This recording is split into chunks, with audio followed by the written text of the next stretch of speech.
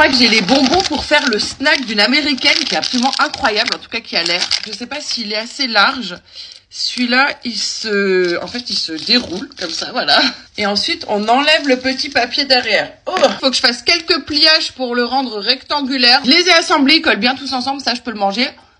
Je viens le mettre dans ma main comme ça, bien à plat. Et c'est le moment de la glace. Alors plutôt du sorbet de fruits, c'est meilleur. Enfin, c'est ce qu'elle dit. Je viens prendre un petit truc pour faire une boule. Je vais pas en prendre énormément parce que j'ai peur que sinon ça rentre pas. Je viens le mettre là-dedans. Une fois que c'est bon, je viens le refermer, faire comme un petit beignet. On dirait même un petit mochi en vrai. Au contact de la glace, il y a une réaction chimique qui se fait. Ça va devenir très croquant. Un croquant. Il doit y avoir un truc bizarre, il croque pas. Après, c'est excellent. Franchement, on dirait un mochi de glace et bonbons.